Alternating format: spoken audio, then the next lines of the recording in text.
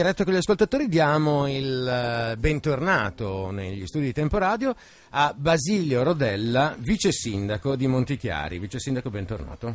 Grazie a voi per l'invito. A proposito di inviti, lo facciamo con gli ascoltatori, invitiamo ovviamente tutti a partecipare, ricordiamo le coordinate per interagire con noi, numero per mandare sms e messaggi whatsapp che è il 338 17 19 105 se volete chiamarci fatelo 0376 63 1709, la mail è diretta chiocciola temporadio.it. Vi invitiamo a usare anche la pagina Facebook del Gazzettino Nuovo e Temporadio sulla quale siamo in streaming. Allora, lei assessore con delega alla cultura, tra l'altro, cultura che è una caratteristica molto importante del, di questa amministrazione monteclarense, diciamo che è proprio una delle cose sulle quali puntate maggiormente, fondamentalmente. Devo dire che è, è, una, è un cavallo di battaglia che è in primo piano per la nostra amministrazione, ma che anche le, le amministrazioni precedenti hanno fatto la loro parte. Eh, devo dire che la cura che abbiamo eh, messo in campo eh, sui settori culturali sta dando i suoi frutti. Se eh, guardiamo ai dati di affluenza alle strutture museali eh, dal 2014 al 2016 vediamo che dal 2014 che, in cui abbiamo avuto 24.865 accessi siamo passati al 2016 con 31.034 accessi, eh, vuol dire eh, quasi 7.000 accessi in più, ovvero più del 20%. Eh, quindi questo è un primo segno che le misure che abbiamo messo in campo stanno dando i loro, i loro frutti. Ecco, ma esiste una ricetta segreta per questo? Cioè, come avete fatto a ottenerlo? Anche perché c'è il discorso del cosiddetto Nemo profeta in patria, cioè io stesso per esempio abito in, non a Montichiari, in un altro comune che ha dei musei e francamente non tutti li ho, li ho visitati, perché ce li ho sempre lì, no? quindi dico sì, un giorno andrò a vederli. Ecco. Ma eh, devo dire che eh, noi partiamo con un handicap eh, spaventoso, nel senso che eh, prima che arrivasse l'amministrazione Fraccaro, il settore cultura aveva a disposizione 200.000 euro eh, forniti annualmente da un discaricatore. Alla, all'avvento di, di Fraccaro come sindaco questi soldi non sono più arrivati e noi stiamo facendo cose, io credo, anche migliori conservando il buono che abbiamo trovato e inserendo eh, iniziative nuove, nuovissime di altissimo livello, senza questi fondi e facendo leva sulla creatività, sulla capacità di spendere in maniera virtuosa e in, sostanza mettendo a frutto al 1000% le risorse che abbiamo. Per cui Esiste una, un, come fate? Cioè, esiste una ricetta o, o, è un segreto? Che... No, non esiste nessuna ricetta, significa valorizzare al massimo le risorse interne che ci sono e devo dire che la Montichiari Multiservizi con la sezione Montichiari Musei aveva e ha eh, del personale di altissimo livello, significa che la Giunta eh, mette in campo tutta una serie di iniziative, quindi è qui che mi riferisco alla questione di creatività e per cui eh, tutto questo unito alla capacità di saper spendere eh, tenendo conto che i tempi sono cambiati, che i soldi non ci sono e che eh, quindi vanno spesi al meglio, dà eh, i risultati che stiamo ottenendo. Quindi appunto ottimizzando, ma facendolo veramente perché il termine ottimizzazione negli ultimi decenni era stato utilizzato in maniera errata quando si riducevano praticamente eh, le risorse, le... invece voi proprio le usate nel modo migliore. Cioè noi in sostanza rispetto all'amministrazione precedente sul settore culturale eh, stiamo, eh, siamo partiti con, come ho detto prima con meno 200.000, in più abbiamo ridotto il personale nel senso con un ulteriore risparmio di 60.000 euro all'anno e facendo molto di più. Quindi eh, devo dire che proprio questo va sulla qualità degli interventi fatti. In questi giorni, sabato, abbiamo inaugurato una mostra di livello nazionale al Museo Lecchi su Basiletti, una mostra eh, veramente che ci è invidiata da, da più parti e eh, che ha avuto un risalto sulla stampa di primissimo livello, ne ha parlato il Corriere della Sera con mezza pagina, il giornale di Brescia con una pagina intera, Brescia Oggi e tutti gli altri organi di stampa hanno dato il massimo risalto, proprio perché eh, è la creatività che viene messa in campo. In sostanza Basiletti è un pittore eh, bresciano dell'Ottocento, eh, nato, cioè, quindi nato a fine del Settecento e vissuto fino a metà dell'Ottocento e che eh, nessuno aveva mai valorizzato come ha fatto il Museo eh, Lechi di Montichiari. Valorizzato con una mostra di livello nazionale che costerà alla fine meno di 15.000 euro. Questo, questi sono i veri miracoli della, dell'amministrazione. Fraccaro. Davvero, e tra l'altro anche con una riscoperta, se mi permette, di eh, un uh, autore locale, di un artista locale.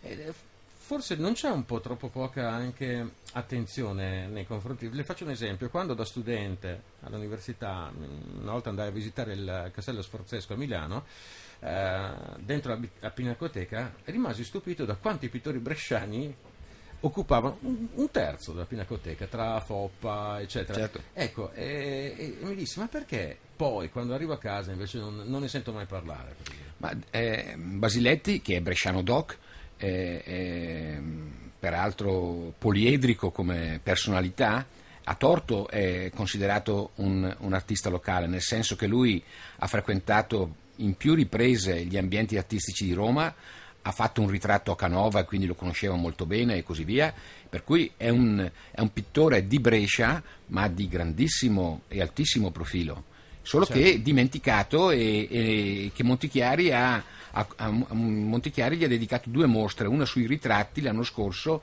e quella straordinaria in corso fino a luglio eh, sul paesaggio. Certo, quindi appunto tra l'altro eh, due tappe fondamentali proprio dell'arte. Eh, ci sono altre, altre, mostre, adesso non le voglio rubare tempo. No, eh, noi, io ho portato. Ah, mostre o eventi? Sì. Eh, io ho portato questa, questi fogli che sono la, la, l'organizzazione di 70 eventi che verranno messi in campo dal 22 aprile al 31 maggio. Perché 22 aprile e non eh, eh, si parte dal maggio monteclarense come solito?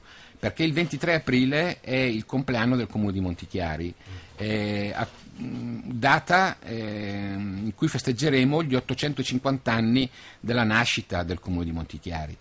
Eh, questo perché è stato ritrovato un documento, 1167, 23 aprile appunto, in cui i conti e i feudatari dell'epoca danno agli homines di, Monte, di Montechiaro alcuni privilegi e alcuni eh, alcune funzioni per gestire proprietà e, eh, e le terre eh, dell'epoca. Per cui ecco, eh, quest'anno partiremo, il Maggio Monteclarense partirà il 22 di eh, aprile e terminerà il, set, il, il, 31 di maggio con oltre 70 eventi. Ehm, partirà il 22 di aprile con una mostra alla Galleria Civica che presenterà l'editoria monteclarense. Cosa significa? Ci siamo spesso chiesti, spesso chiesti co- chi ha scritto di Montichiari, quanto ha scritto di Montichiari. Abbiamo fatto una ricerca molto approfondita e qui ringrazio i vari storici monteclarensi eh, e siamo pervenuti ad un primo censimento che ci dice che mh, al momento ci sono 330 titoli 330 pubblicazioni, libri che parlano di Montichiari. Questi li abbiamo scovati all'Archivio di Stato, alla Querignana, alla Fondazione Micheletti, alla Ugo da Como e, e, e molte altre eh, realtà eh, pubbliche e private che ci hanno messo a disposizione questi titoli. Questo perché? Perché vogliamo che eh, lo studio del territorio sia fatto da parte dei cittadini, degli studenti e così via, sempre più in modo approfondito e la fornitura di un catalogo delle opere eh, fatte in passato credo che sia fondamentale per poter fare eh, ricerca in modo serio. Per cui è stato stampato un catalogo che naturalmente appena uscito sarà subito vecchio, perché ci immaginiamo che chi scorrerà le, eh, i titoli presentati dirà ma io ne ho a casa un altro, io ne ho a casa un altro ancora, per cui Questo catalogo sarà messo online e continuamente aggiornato a seconda delle segnalazioni e dei ritrovamenti che faremo nelle biblioteche locali, nazionali ed internazionali.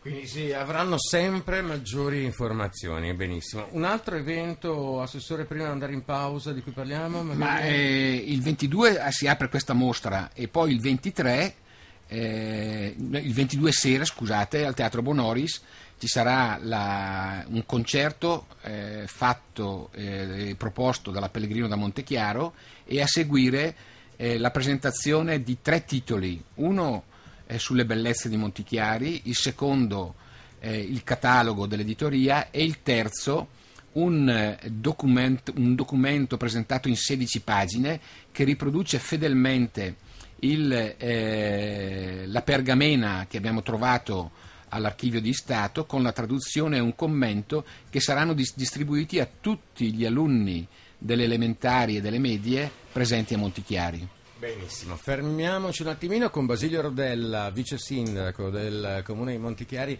Ci troviamo tra un paio di minuti, arriviamo subito. Dialogando con Basilio Rodella, vice sindaco del comune di Montichiari, eh, questa è la seconda parte di filo diretto con gli ascoltatori. Ci sono anche diversi messaggi che adesso andremo a leggere. Saluto l'ascoltatore o ascoltatrice anche che ha mandato un messaggio per il candidato sindaco Volpi, non, è, non c'è per oggi. Comunque eh, lo salutiamo ad ogni modo, eh, l'ascoltatore me lo tengo per quando arriva. allora, eh, Assessore Basilio Radella, le manifestazioni come quella ciclistica sono belle, portano visitatori ma rompono un po' le scatole ai residenti, dice un ascoltatore. Avete effettivamente fatto una bella manifestazione? Ma, eh, ringrazio la, la, l'ascoltatrice che eh, mi pone questa domanda. In effetti eh, il centro storico è spesso teatro di manifestazioni di vario tipo e eh, gli abitanti, i cittadini che abitano in centro hanno spesso delle difficoltà ad affrontare per questo. Ma è il rovescio della, della medaglia di, di, di, abitare in centro. Ci sono le comodità di abitare in centro e ci sono le difficoltà di, ab- di abitare in centro. Così come quelli che abitano in periferia hanno i problemi di trasporto e non hanno tutte le opportunità di chi abita in centro, così gli abitanti del centro hanno, hanno queste, altre, eh, queste altre problematiche occorre tanta pazienza, molto buonsenso e le cose possono eh, coabitare e coesistere senza problemi. Esatto. C'è anche il prestigio, il valore della casa, tutta una serie di cose, compreso il fatto che non si va al supermercato perché magari devi comprare una biro, vai in cartoleria, ecco. Però nelle periferie le cartolerie tante volte non ci sono per, per non ci sono, eh, esempio, chi abita eh? in periferia non ha i problemi di chi abita in centro, ma non ha neanche le opportunità. Certo, per cui... certo, per cui appunto il, proprio c'è un dritto e c'è un rovescio, come ha detto l'assessore. Allora, uh, saluto Morris, eh, il quale dice: Vice Sindaco dicono che si alternerà con Fraccaro uno per uno, così regnerete per sempre. Uh, io lo spero comunque, quindi è favorevole. Ma, eh, la nostra è una squadra molto affiatata, ripeto, una squadra che, che ha in Mario Fraccaro un, un allenatore e un, un, un, direttore d'orchestra molto valido. Io credo che continuerà con queste, con queste modalità, quindi non, non, non ci sono problemi. Benissimo. Altro messaggio, il buongiorno, il castello è bello ma non lo conosce nessuno. Questo è un altro problema, appunto ne accennavamo prima, anche del Nemo Profeto in Patria, dicevo, cioè guardate che specialmente i residenti in un posto sono quelli che vanno meno a visitare. È il lavoro che stiamo facendo e i dati che ho espresso prima, ovvero nel 2014 il sistema museale che comprende anche il castello è stato visitato da 24.865 persone, il 2016 ne ha, visti, ne ha viste 31.000 erotti, quasi 7.000 in più vuol dire che il lavoro che stiamo facendo sta dando i suoi frutti. Benissimo, quindi eh, questa è una grandissima cosa. E poi, eh, dunque, vediamo, eh, un altro messaggio, novità sulla fiera, così cambiamo argomento, saluto chi ha mandato il messaggio, prosegue il boicottaggio di Brescia, addirittura lo definisce ma eh, questa, eh, quanto esprime l'ascoltatore eh, è frutto di alcuni articoli apparsi da millantatori, eh, organizzatori di fiere che si sono proposti per rilanciare la, eh, la fiera di Brescia. Eh, ripeto il termine, millantatori. Mm. Ehm, abbiamo pochi giorni fa avuto un incontro con Giovanna Prandini, la presidente di Probrixia che ha in gestione il, la struttura di Via Caprera, eh, l'ex Fiera di Brescia, e ci ha confermato che non c'è nessun boicottaggio da parte della Fiera di, di Brescia nei confronti di Montichiari, anzi prosegue eh, la collaborazione. E la domanda dell'ascoltatrice giunge a proposito perché mi consente di eh, annunciare che eh, entro metà maggio la fiera di Montichiari firmerà un accordo di collaborazione, una sorta di società, partnership con le fiere di Bergamo e eh, Cremona in, primo, in, un primo momento e in seconda battuta con la struttura polivalente eh, di Brescia, eh, per cui eh, si sta creando un sistema fieristico della Lombardia orientale.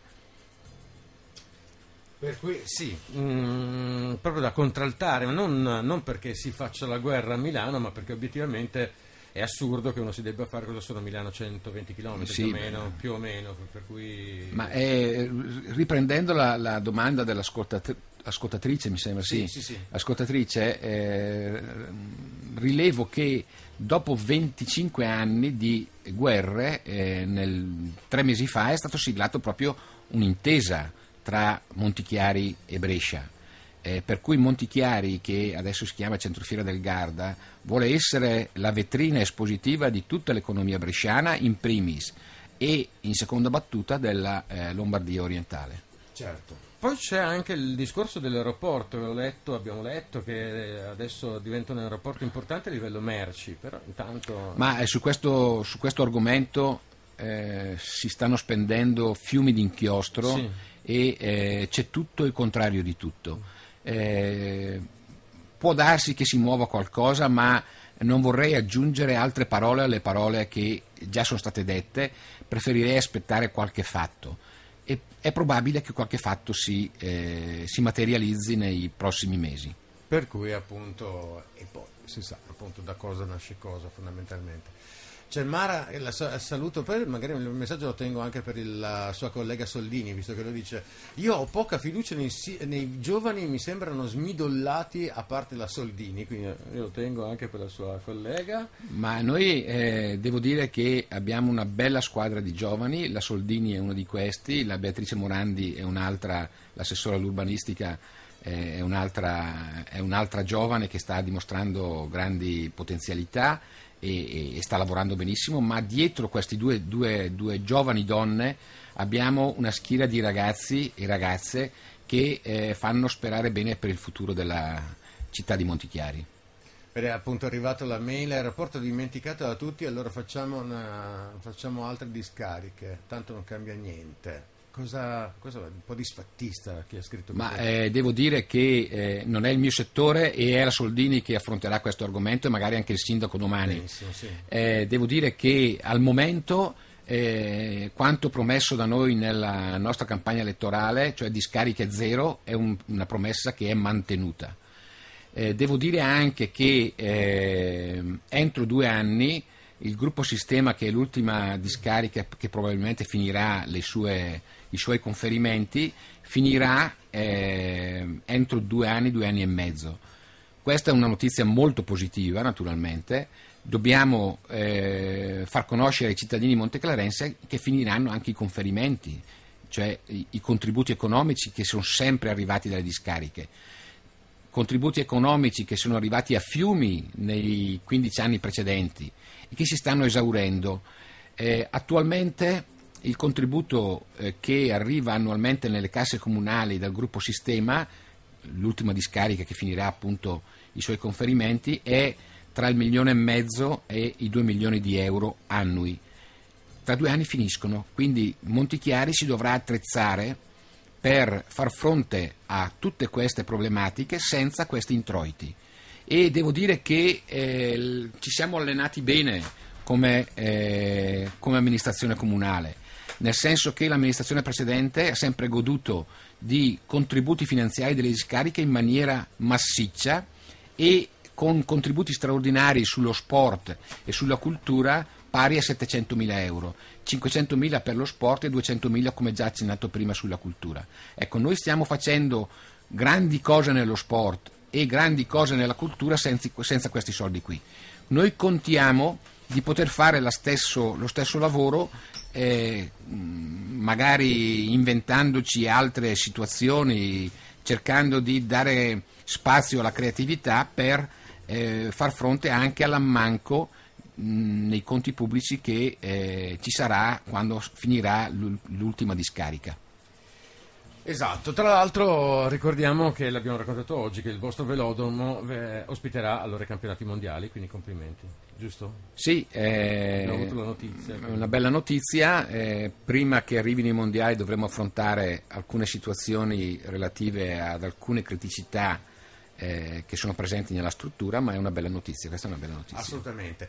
Allora, eh, vorrei tenere, eh, leggere una mail di Betty, dice non sarebbe meglio far portare i pasti da casa, i pasti per l'asilo. Adesso, a parte questo, però parliamo, approfittiamo di Betty, eh, rispondiamo a Betty e poi anche, magari parliamo anche dell'aspetto sociale che è estremamente importante proprio per Montichiari, per la, questa amministrazione. Allora, eh, l'aspetto sociale e educativo per questa amministrazione è importantissimo, ne parlerà comunque domani il sindaco Mario Fraccaro perché le sono le sue deleghe specifiche.